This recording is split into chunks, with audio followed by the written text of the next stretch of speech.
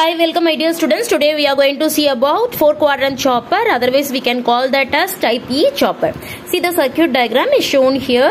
Four switches were there C1, C2, C3, C4 and the diodes are connected anti-parallel to the switches D1, D2, D3, D4 or diodes.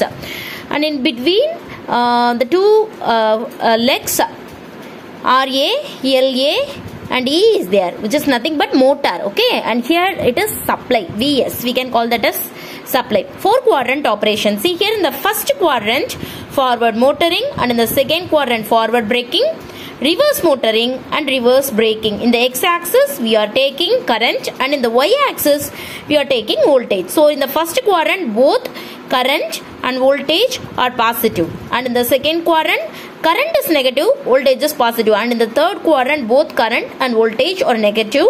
And in the fourth quadrant current is positive and the voltage is negative.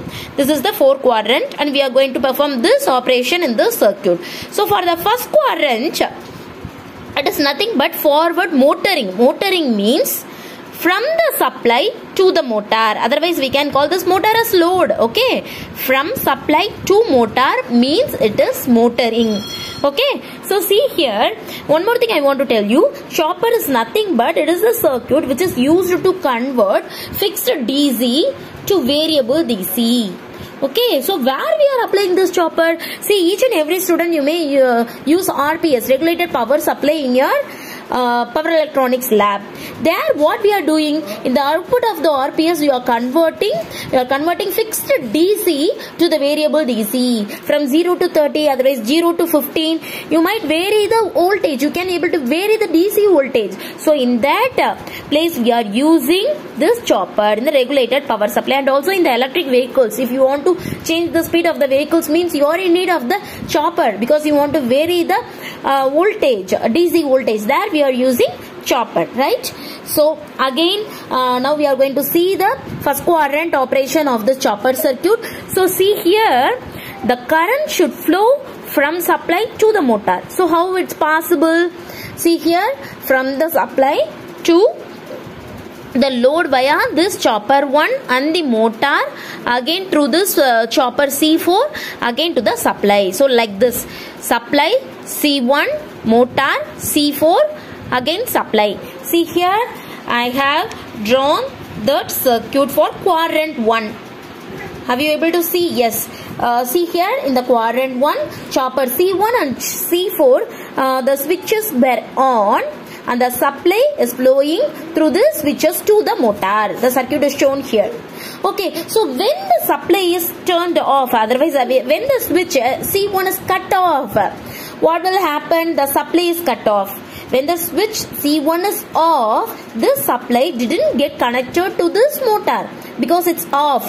What will happen? Then inductor stored energy is free freewheel through the through the same RA, LA and E. See it is shown here. Let me show it. Let me focus that circuit. When the chopper C1 is off, when the uh, switch, uh, the power electronic switch C1 is off, uh, C1 is off, what will happen? The stored energy in the inductor is freewheeled, want to freewheel, want to dissipate the stored energy within itself and it want to get ready for the next cycle. Okay, so see here, this chopper, this uh, switch is C4 switch is on, but this C1 switch is off means the supply get detached, detached from the circuit. So what will happen? The stored energy in the inductor dissipates in the same direction see here also this direction here also the same direction.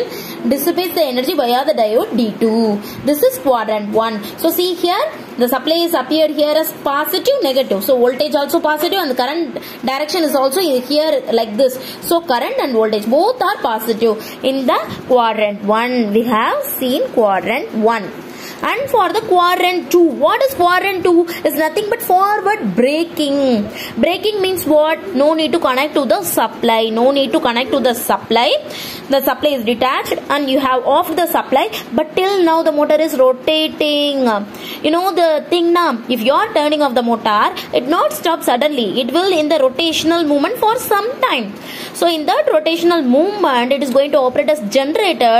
And the mechanical movement that is rotation is going to store some energy in the inductor. It's happening there in the quadrant 2 forward braking so there is no need for the supply. But the current direction is negative. See here the current direction is negative. So the current here in the quadrant 1 the current flows like this. But uh, here in the second quadrant the current flows like this. Okay in this direction the current flows so it is negative. So the current flows in the negative direction via the chopper. So which one is possible? See here in the circuit the current want to flows and stores the energy in the inductor itself means uh, which should which switch should be on there at this time. In second quadrant yes the current flows like this.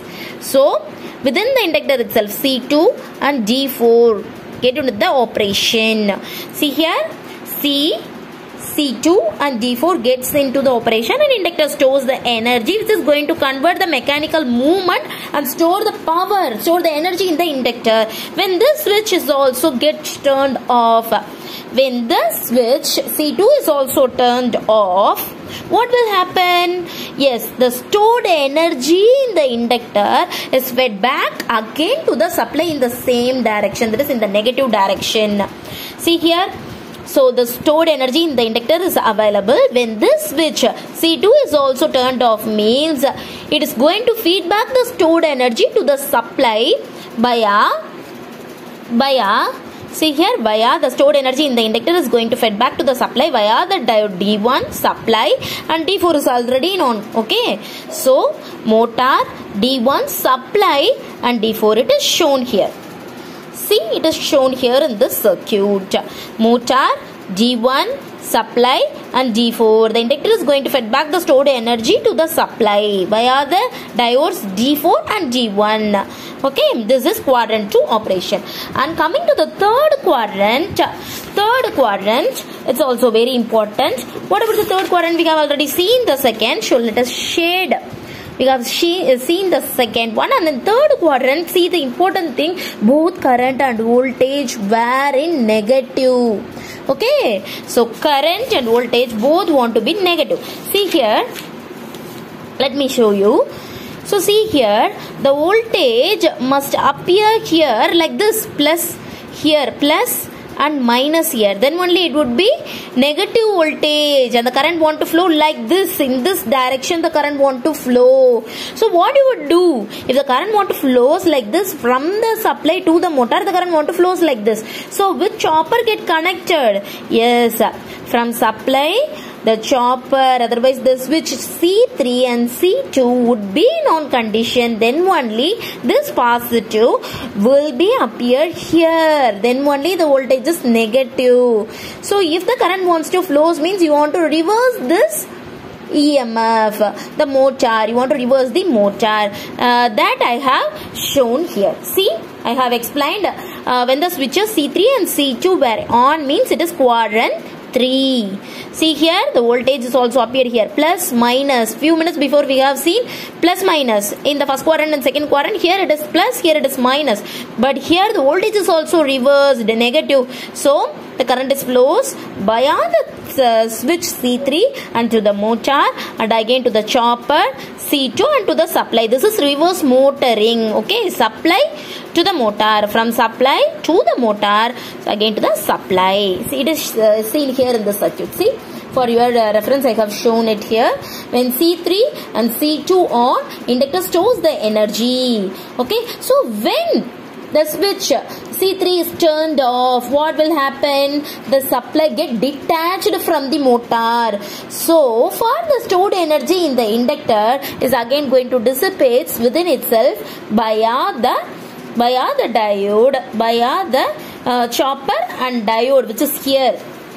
Via the chopper and diode D4 okay via the chopper C2 and D4 it is going to it is going to dissipate. It is going to free freewheel the energy within itself in the same direction. See here it is shown here from the motor and the chopper is still now on and the, the switch C2 is on and via the di- di- diode D4 it's going to dissipate the energy within itself. Inductor dissipates energy via C2 and D4 and we have seen the third quadrant now okay? We have seen that.